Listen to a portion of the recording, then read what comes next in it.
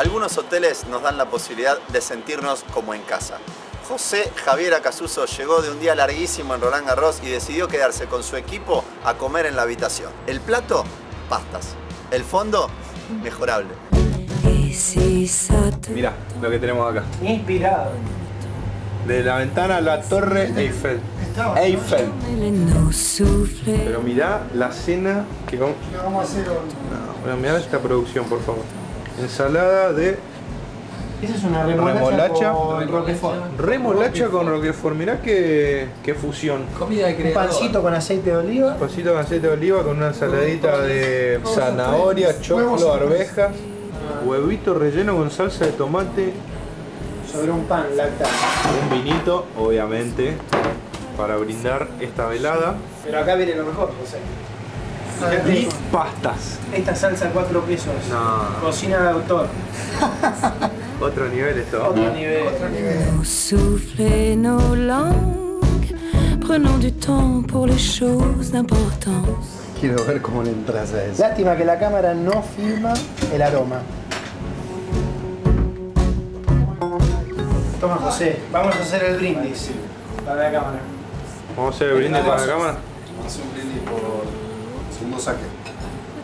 Y por esta comida, por. Eh, cocinero, cocinero, mandale un saludo a, a Segundo Saque, a, a mí y a Martín Basalo Arguello, que somos los dueños del programa. Bueno, para Martín y para Chucho, gracias por esta velada. Un abrazo grande a Segundo Saque. No, gracias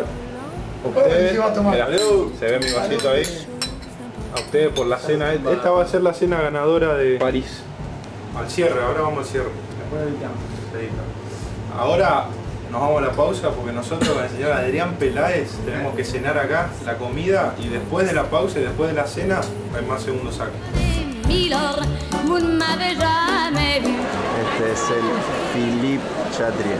Acá se juega la final. Y todos los partidos importantes de París. Les voy a mostrar los mejores estadios del mundo. ¡Estadio lleno! Primer día, hoy es domingo, se está jugando una especie de set de exhibición que los jugadores lo usan para entrenarse un poquito. Y en este curso central tenemos a Roger Federer contra Andy Murray. Estadio repleto. Y empezó.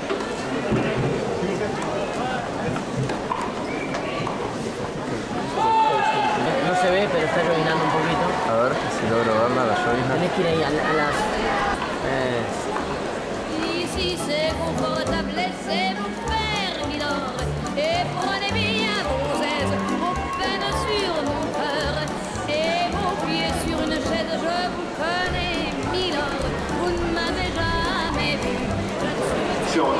Último punto y nos vamos porque ya es un diluvio esto. Qu'il suffit parfois. Que estamos en Roland Garros, pero no todo es color de rosa como parece. Y nos vamos a tomar. Manedito, ¿qué nos vamos a tomar? El metro. ¿Le metro?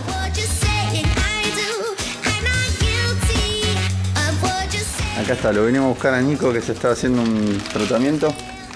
¿Cuántas veces vino Nicolás Lapenti a Roland Garros? Serían 13 años, pero creo que falté uno o dos. O sea que si hacía el improviso te digo, decime cuál es la cancha 7, por ejemplo. Fácil.